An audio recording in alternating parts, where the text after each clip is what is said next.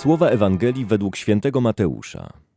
Piotr zbliżył się do Jezusa i zapytał: Panie, ile razy mam przebaczyć, jeśli mój brat wykroczy przeciwko mnie? Czy aż siedem razy?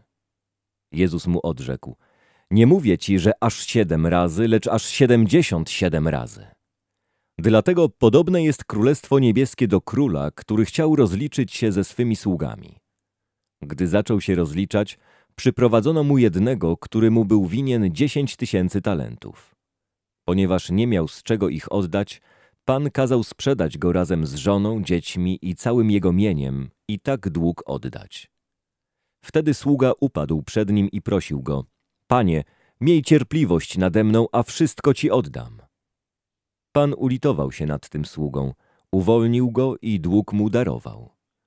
Lecz gdy sługa ów wyszedł, spotkał jednego ze współsług, który mu był winien sto denarów. Chwycił go i zaczął dusić, mówiąc, oddaj coś winien. Jego współsługa upadł przed nim i prosił go, miej cierpliwość nade mną, a oddam tobie. On jednak nie chciał, lecz poszedł i wtrącił go do więzienia, dopóki nie odda długu. Współsłudzy jego, widząc co się działo, bardzo się zasmucili. Poszli i opowiedzieli swemu panu wszystko, co zaszło.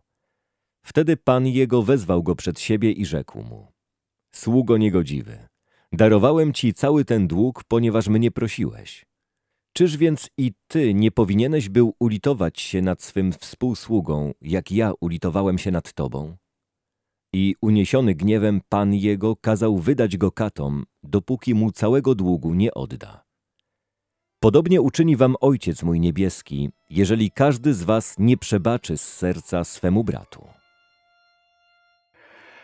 Żeby braterstwo mogło być kontynuowane, potrzebne jest nieustanne przebaczanie.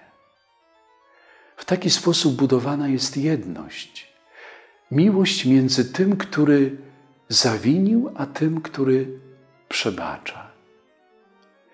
Przebaczanie 77 razy, czyli zawsze, jest konieczne, aby uwielbić Boga, ale też, aby wyrazić swój osobisty, najgłębszy sprzeciw wobec szatana.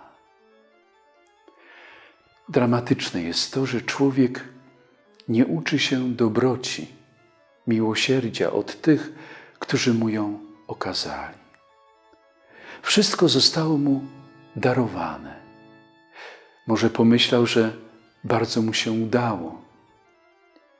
Bóg nam przebacza, a my niekiedy nie przebaczamy ludziom.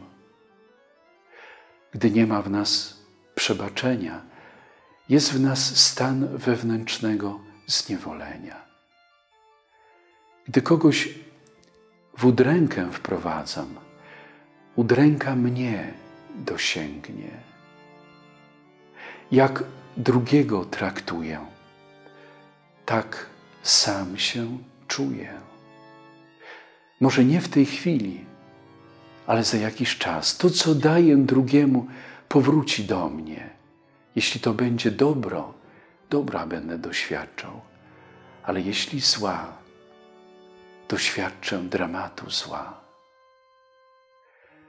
Przebaczanie to cecha ludzi wielkich duchem, wolnych wewnętrznie, bezinteresownych, szlachetnych.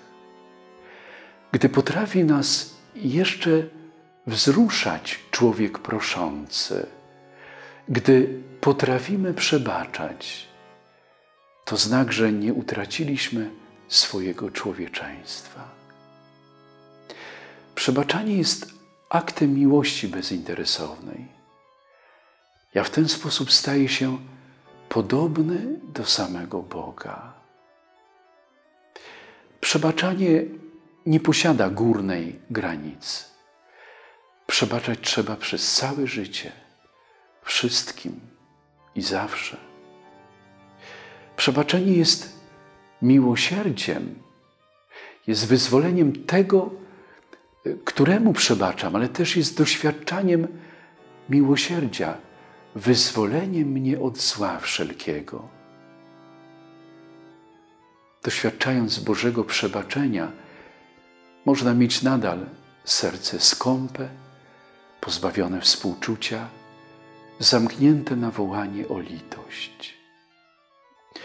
Zobaczmy, dochodzimy do odkrycia bolesnej prawdy, że Boże przebaczenie człowiekowi może nie zmieniać człowieka, może go nie nawracać, nie czynić miłosiernym.